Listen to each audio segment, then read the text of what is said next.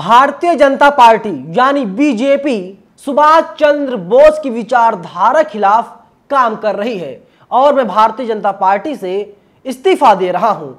मैं ये नहीं कह रहा हूँ, बल्कि सुभाष चंद्र बोस के पौत्र, यानी पोते कह रहे हैं। नमस्कार, मेरा नाम है नवीन कुमार नंदन और आप देख रहे हैं नेशनल दस्तक। भारतीय जनता पार्टी बहुत बड़े बड़े दावे तो करती है।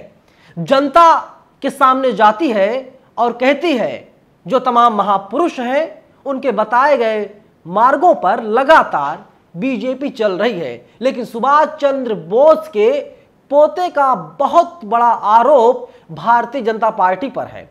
आरोप लगाते हुए उन्होंने भारतीय जनता पार्टी को अपना त्याग पत्र सौंप दिया। उन्होंने साफ़ तौर पे कहा 2016 में उन्हें लगा था, नरेंद्र मोदी के नेतृत्व में हमारा देश तरक्की करेगा। उन्हें उम्मीद थी कि नरेंद्र मोदी देश के लिए कोहिनूर साबित होंगे, लेकिन ऐसा होता हुआ नहीं दिखाई दे रहा है। रिटायर्ड आईएएस सूर्य प्रताप सिंह ने ट्वीट किया। उन्होंने लिखा, सुभाष चंद्र बोस के पोते चंद्र कुमार बोस ने बीजेपी से इस्तीफा दिया।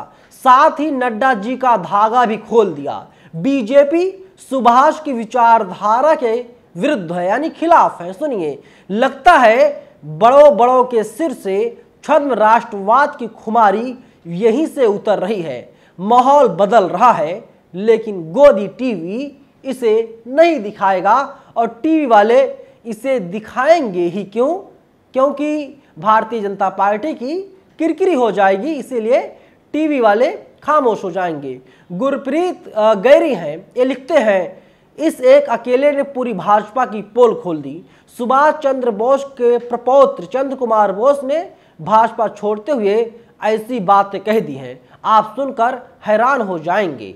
मुझे नहीं लगता चंद्र कुमार बोस के इस बयान के बाद भाजपा के पास कुछ कहने, सुनने को होगा। आप सोचिए कि कितना बड़ा आरोप भारतीय जनता पार्टी के ऊपर लगाया है। जो सुभाष चंद्र बोस के पोते हैं चंद्र कुमार बोस ने बोलता हिंदुस्तान ने एक ट्वीट किया है। आपकी स्क्रीन पर एक ट्वीट है। नेताजी सुभाष चंद्र बोस के परपोते ने कहा, बीजेपी की राजनीति सब धर्म को एक साथ करने की नहीं है। यानी बीजेपी लोगों को लड़ाती है।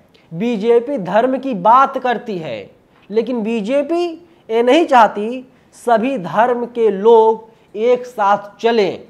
क्योंकि यहाँ पर धर्मों को लगातार तोड़ा जा रहा, धर्म के हिसाब से लोगों को देखा जा रहा है। जैसे आपको मैं अगर उदाहरण के लिए बताऊँ, हमारे देश में कोई मुसलमान होता है, अगर आरोपी है तो टीवी वाले उसमें जिहाद खोजते हैं। उसमें खोजा जाता है कि आतंकवादी है, उसमें खोजा जाता पाकिस्तान से क्या कनेक्शन है। लेकिन ब्रजभूषण सिंह जैसे लोग कितने भी बड़े अपराध को अंजाम देते हैं कोई भी आरोप उनके ऊपर लगता है तो कहा जाता है, ये आरोप निराधार है, ये लोग निर्दोष हैं, बेगुनाह हैं।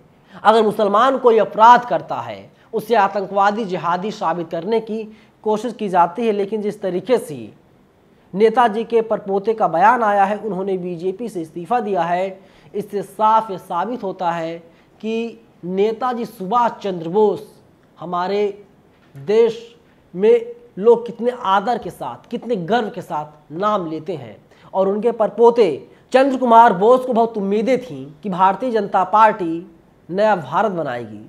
सुभाष चंद्र बोस के सपनों का भारत बनाएगी और ऐसा होता हुआ नहीं दिखाई दे रहा है। एनडीटीवी ने एक आर्टिकल लिखा है, नेताजी सुभाष चंद्र बोस के पोते चंद्र कुमार बोस ने बुधवार को यह कहते हुए बीजेपी इस्तीफा दे दिया पार्टी ने नेताजी के दृष्टिकोण को प्रचारित करने के वादे पूरे नहीं किए। चंद्र बोस 2016 में भाजपा में शामिल हुए थे और उन्होंने दो बार भाजपा के टिकट पर चुनाव लड़ा था। वह 2016 में विधानसभा चुनाव 2019 में लोकसभा चुनाव लड़े थे। उन्होंने कहा, जब मैं भाजपा में शामिल हुआ था तो मुझसे वादा किया गया था। मुझे नेताजी सुभाष चंद्र बोस और शरद चंद्र बोस की समावेशी विचारधारा का प्रचार करने की अनुमति दी जाएगी। लेकिन ऐसा कुछ नहीं हुआ। बोस को 2016 में भाजपा की पश्चिम बंगाल इकाई का उपाध्यक्ष नियुक्त किया गया था, लेकिन 2020 में उन्हें जो है कि पद से हटा दिया गया, जो संगठन है, उसमें बदलाव किए गए थे। और इसके अलावा उन्होंने भाजपा के राष्ट्रीय अध्यक्ष जेपी नड्डा को लिखे अपने त्यागपत्र में कहा, तब मेरी चर्चा भाजपा के साथ। बोस बंधुओं, नेताजी और उनके बड़े भाई शरद चंद्र बोस, जो स्वतंत्रता सेनानी थे कि समावेशी विचारधारा पर केंद्रित थी।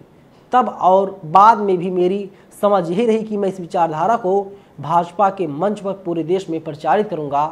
त्यागपत्र में कहा गया, धर्म, जाति और पंथ से परे सभी समुदायों को भारतीय के रूप में एकजुट करने की नेताजी की विचारधारा का प्रचार करने के प्राथमिक उद्देश्य के साथ भाजपा के ढांचे के भीतर आज़ाद हिंद मोर्चा बनाने का भी निर्णय लिया गया था। लेकिन वे प्रचार नहीं कर पाए, वे सुभाष चंद्र बोस के विचारों को जन जन तक नहीं पहुँचा पाए, क्योंकि भारतीय जनता पार्टी सुभाष चंद्र बोस की जो विचार थे, उसके खिलाफ काम कर रही है और इसीलिए उन्होंने इस्तीफा भारतीय जनता पार्टी से दे दिया।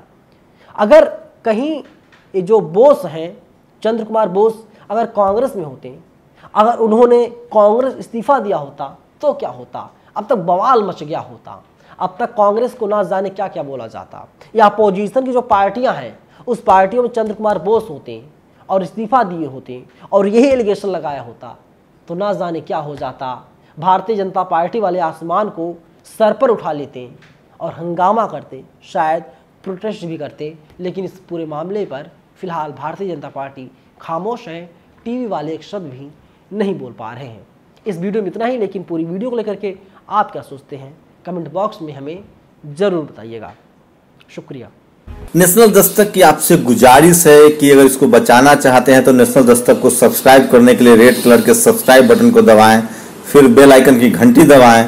नेशनल दस्तक को बचाने के लिए बहुत ज़रूरी है कि हर खबर को शेयर करें, लाइक करें, कमेंट ज़रूर करें।